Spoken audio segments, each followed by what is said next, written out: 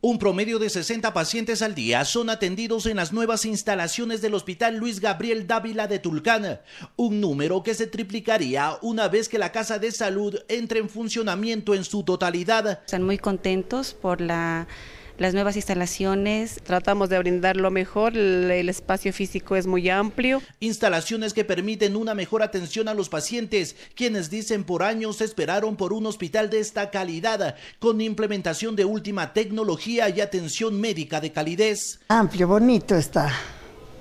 Se le agradece al señor presidente que nos haya dado nuestro hospital. Y hay nuevas especialidades que acá en Tulcán eran muy raras o eran difíciles de encontrar, como es audiología.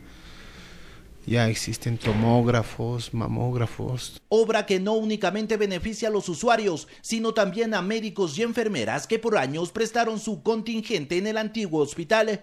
Eh, yo me siento bien porque es un consultorio que está adecuado para el tratamiento de pacientes con problemas de terapia de lenguaje. El nuevo y moderno hospital supera los 24 millones de dólares, posee 18 mil metros de construcción y consta de 148 camas para pacientes. Es lo mejor que creo que ha hecho el gobierno aquí en, en el CACHI. De todas formas va a haber una buena atención. Los doctores están para todo. En Tulcán, Enrique Portilla, Prisma Informativo.